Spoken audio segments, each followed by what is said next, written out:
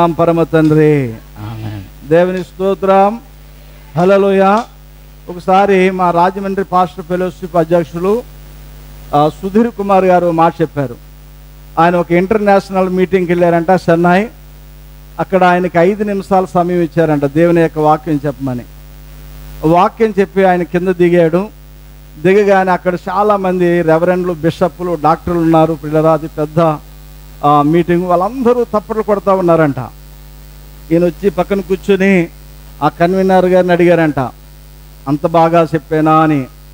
అప్పుడు ఆయన అన్నాడంట అంత బాగా చెప్తాం కాదండి మీకు ఇచ్చిన ఐదు ఐదు నిమిషాల్లో మూడు నిమిషాలే చెప్పారు. అందుకు నేను ఎవరు తక్కువ సమయం చెప్తే వాళ్ళకి గట్టిగా తప్పట్లు కొడతానన్నారంట. దేని స్తోత్రం చెప్పండి. కనుక దేవుని బిడ్డలారా తక్కువగా చెప్పిన వారు మరలా మరలా పిలువబెడతారని రాయబడ్డది. కానీ దేవుని యొక్క వాక్యము యేసు ప్రభు వారు దేవుని బిడ్డలారా ఎన్ని దినాలు చెప్పారు? చెప్పండి. ఒక కొండ మీదకి తీసుకెళ్ళి ఎన్ని దినాలు చెప్పారంట?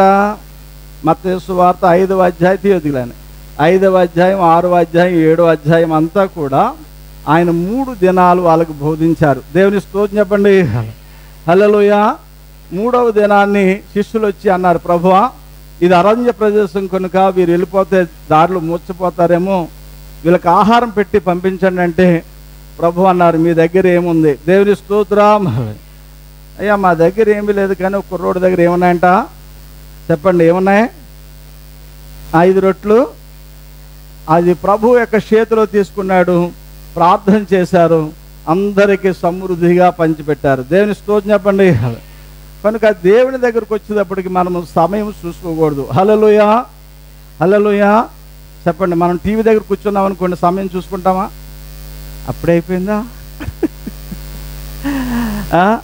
కనుక దేవుని సన్నిధికి వస్తున్నప్పుడు పిల్లరా మనం ఎలా ఉండాలంటే ఇంకా మోషే దేవుని యొక్క పర్వతం మీదకి వెళ్ళి ఎన్ని దినాలు ఉన్నాడంట? చెప్పండి ఎన్ని దినాలు ఉన్నామా నలభై పగళ్ళు నలభై రాత్రులు ఉన్నాడు. దేవుని స్తోత్రం చెప్పండి. ముఖ దర్శనము సాలయాని ముఖ దర్శనము సాలయా అన్నపానము మరచి నీతో గడుపుట పరలోకానుభవమే నాకది ఉన్నత భాగ్యమే. అన్నపానము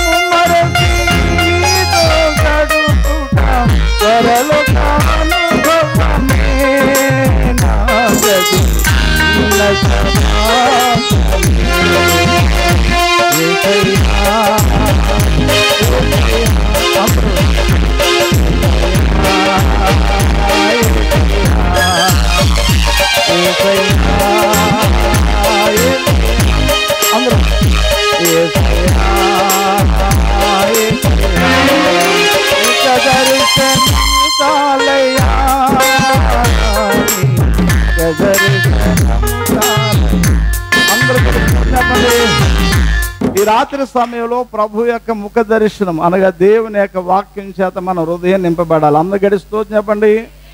హలోయా అపోస్తుడైన పౌలు ప్రియుల అపోస్తుల కార్యగ్రంథము ఇరవై రెండవ అధ్యాయం పదిహేడు వచ్చిన మనం చూస్తే ఆయన దేవాలయములకు వెళ్ళి ప్రార్థన చేస్తున్నప్పుడు ఏం జరిగిందో చదువుదాం.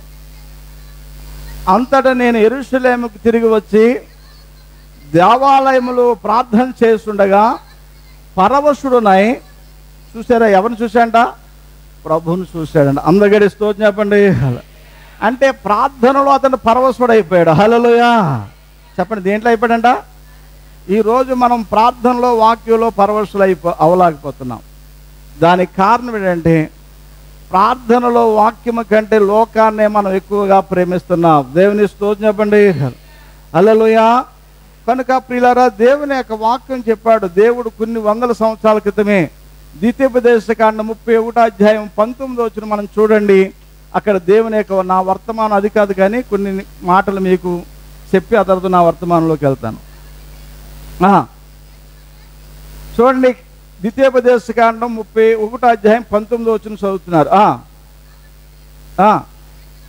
రాసి ఇస్రాయేలుకు నేర్పండి. మీ బైబిల్ టికెట్ ఆ, మీ- ఈ కీర్తన ఇస్రాయేలు మీద నాకు సాక్షార్థముగా ఉండినట్లు చూడండి దానిని వారు ఏం చేయాలి కంఠోపాఠముగా చేయించాలి. అందరు గడి స్తోత్రం చెప్పండి. హలోయ అంటే దేవుని యొక్క వాక్యాన్ని మనం కంఠపాఠనముగా ధరించుకోవాలి. కంఠభూషణముగా ధరించుకోవాలి. దేవుని స్తోత్రం చెప్పండి.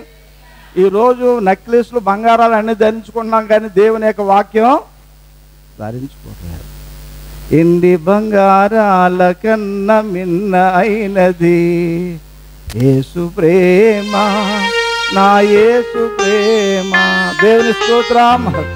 మరి ఎందుకు మనం కంఠభూషణంగా ధరించుకోవాలి? దేవుని యొక్క వాక్యం మన హృదయంలో ఎందుకు ఉండాలి? ఆమోస గ్రంథం ఎనిమిదో అధ్యాయము పదకొండవ వచనం చూస్తే కొన్ని వందల సంవత్సరాల క్రితం ఆమోసుతో ప్రభు మాట్లాడారు. చూడండి దేవుడు అంటున్నాడు రాబో దినమందు దేశములో నేను క్షామాన్ని పుట్టిస్తాను. ప్రభు అంటున్నాడు అది అన్ని పానములు లేకపోవటం వల్ల కాదు.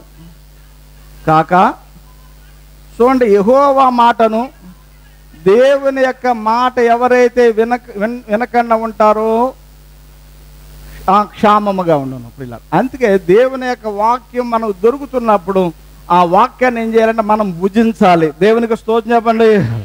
హలోయా చెప్పండి దేవుని యొక్క వాక్యం ఏం చేయాలి? మనం కుయ్యూరు వెళ్ళినప్పుడు చిన్నపిల్లలకి మీటింగ్ కిజ్ పెట్టారు. ఆ కుర్రోడు పద్నాలుగు సంవత్సరాల వయసు తొమ్మిది సంవత్సరాల వయసు నాలుగో తరగతి చదువుతున్నాడు. నాలుగు వందల వాక్యాలు కండసి పెట్టాడు. దేని స్తోత్రం చెప్పండి. ఎన్ని సంవత్సరాలమ్మా? తొమ్మిది సంవత్సరాలు. చూసారా? అందుకే దేవుడి యొక్క వాక్యం ద్వితీయోపదేశ కాండంలో చూడండి.